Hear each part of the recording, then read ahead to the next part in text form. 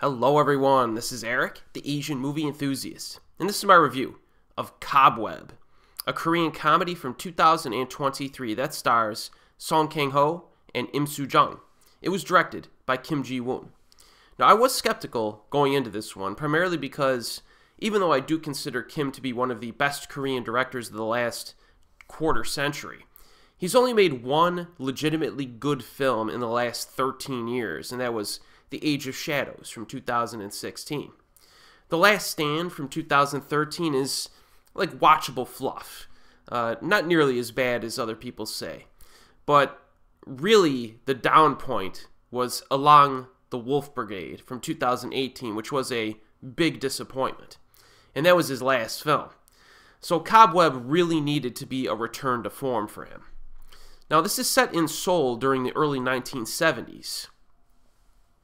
The film director, Kim Ki-yeol, played by Song Kang-ho, is obsessed with the fact that the ending of his already wrapped film, Cobweb, would be better if he did some additional reshoots.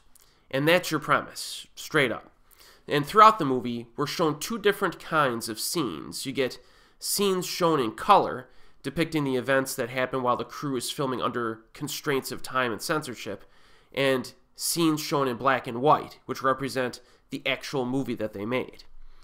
Now, the film begins in pretty energetic fashion, and it's uh, it's a black and white scene from the movie they're making, and Im Soo Jung is going psycho with a roaring rainstorm outside, and then we seamlessly transition to color with Song Kang Ho in his director's seat, you know, yelling "cut" and providing some guidance, and the story is set up immediately uh, with Song contemplating out loud that he's going crazy and simply must reshoot the ending of this movie for the purpose of making it a true masterpiece.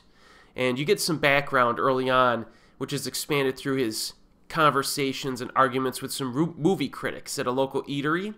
They consider him to be like a one hit wonder. He made a, an impressive debut film, but followed it up with a bunch of tacky, low quality movies. So he has something to prove. And I was thinking while watching this, is this a meta observation of Kim Ji Woon in real life? Like per- perhaps after making the Wolf Brigade, and people were saying that uh, he was washed up, maybe I don't know. I mean, I, the thought crossed my mind actually a, a few times while watching that film. And as I said before, you know, his last great piece of entertainment was probably uh, I Saw the Devil from back in 2010, for goodness sakes, right? So maybe he read the online criticism, maybe people were starting to give him some flack over his career, and maybe he felt that he had something to prove while making this movie. So that was just an observation I had while watching this, and I, I think there's got to be some truth to it. Uh, but I like the setup of the movie. You have a very slight manic quality of the characters in a stressful time restricted situation. They endure all kinds of inconveniences while attempting to make this, uh, uh, do these reshoots for the film. And it's not just the challenges of movie making. There's a censorship committee that's watching over their every move. So they need to ensure that the new script and the scenes that they shoot get approved by the powers that be. And I was actually pretty surprised at just how quickly Cobweb moves in terms of pacing. I mean, you look at the runtime, it's over two full hours but it has a very nice energy to it from start to finish.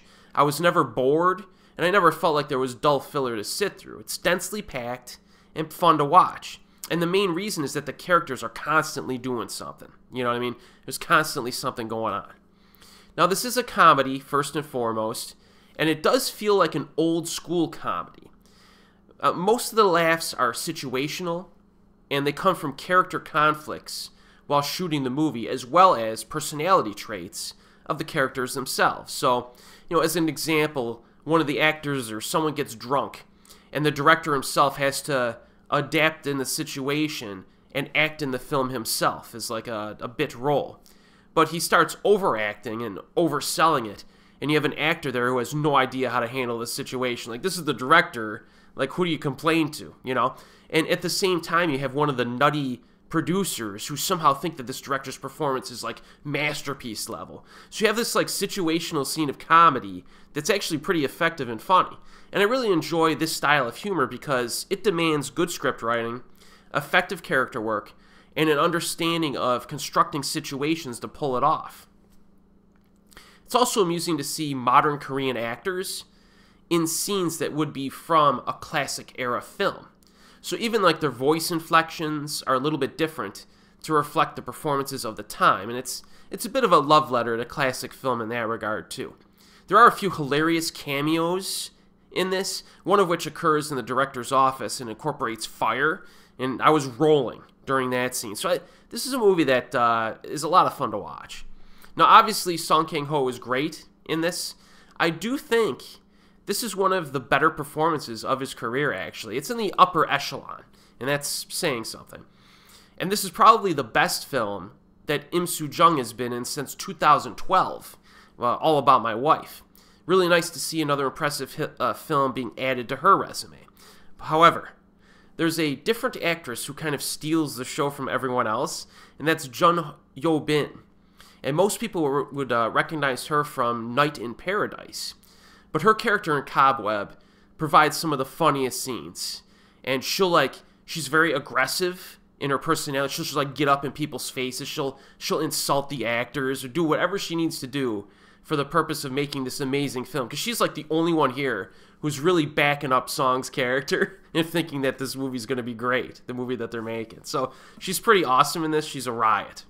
And then as an added bonus, the black and white scenes have a stylish flair to them and uh, adds to the visuals. So, all in all, I would say yes, Cobweb is most definitely a return to form for Kim Ji Woon. Uh, it's more fun than what you might expect just by reading the plot synopsis.